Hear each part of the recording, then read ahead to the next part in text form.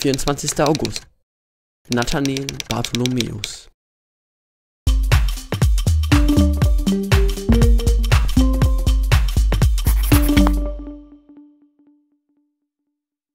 Der Apostel Bartholomäus war dem Namen nach der Sohn eines Tolmai, eines Furchenziehers, also eines Knechtes. Er gehörte zweifellos zu den Jüngern Jesu und zum Kreis der Apostel. Mit großer Wahrscheinlichkeit ist er auch der Nathanael Bartholmai aus Kana in Galiläa, dessen Berufung im Johannesevangelium ausführlich geschildert wird. Demnach hätte Bartholomäus bereits mit Johannes dem Täufer sympathisiert und wäre der jüdischen Gruppe der Schriftgelehrten zuzuordnen. Am See von Genezareth gehörte er schließlich zu den Zeugen, die dem Auferstandenen begegnen. Nach der Himmelfahrt Jesu soll er das Evangelium Christi in Indien, Mesopotamien und Armenien gepredigt haben. In Armenien soll er auch das Märtyrum erlitten haben. Ihm soll die Haut abgezogen worden sein. Anschließend habe man ihn kopfüber gekreuzigt. Im 6. Jahrhundert glaubte man, seine Gebeine auf der Mittelmeerinsel Lipari bei Sizilien gefunden zu haben.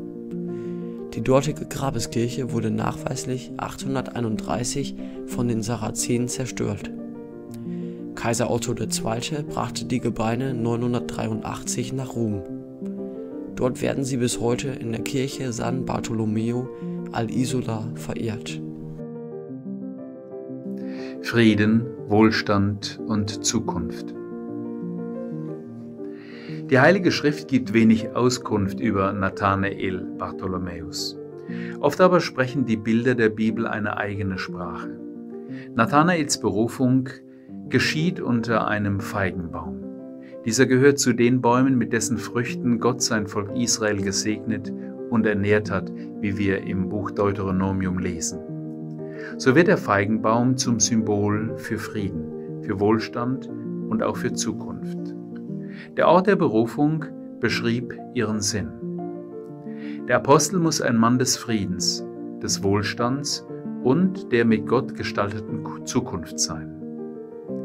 Die Kirche Christi nennt sich apostolisch und beruft sich damit auf das Zeugnis der Apostel, das das Erbe aller Gläubigen ist.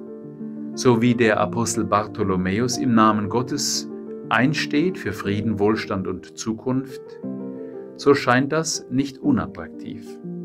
Doch jeder weiß, wie schwer es manchmal ist, schon in der eigenen Familie Frieden zu wahren.